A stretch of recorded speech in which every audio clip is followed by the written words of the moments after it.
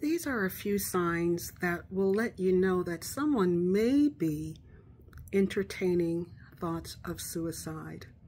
If they spend an undue amount of time thinking about wanting to die, no longer wanting to be here, saying, you know what, this is just too much, I can't do this anymore. And I mean, we all go through some challenges and we all have been there, but I'm talking about a preoccupation with it looking up different ways to die, feeling hopeless, helpless, like there's nothing anybody can do, and what's the use anyway? Feelings of being a burden to someone else, being in extreme emotional or physical pain, sleeping a lot, displaying behaviors that are just uncommon for that individual.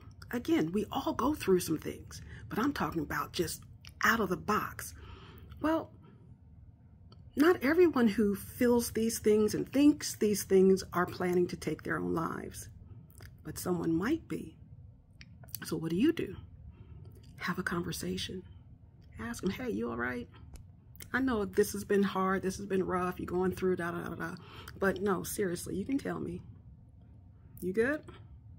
And if they tell you yes, and in a day or so they snap out of it, cool.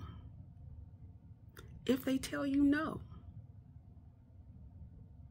and tell you what's really happening in their heart, in their minds, in their bodies, do not take the burden upon yourself.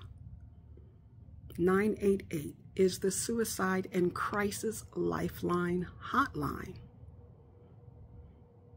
You can call it. You can encourage someone else to call it. But don't just leave them and say, girl, it's going to get better.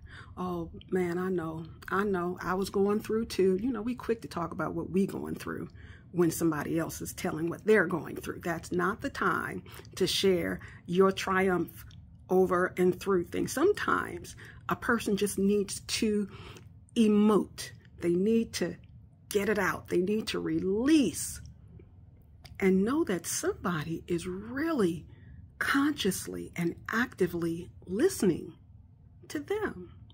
Not waiting to give your anecdote, give your solution, tell your story about what happened one day when you was going through the same thing. Mm -mm. They need to know somebody is there just for them in that moment. It can make a world of difference.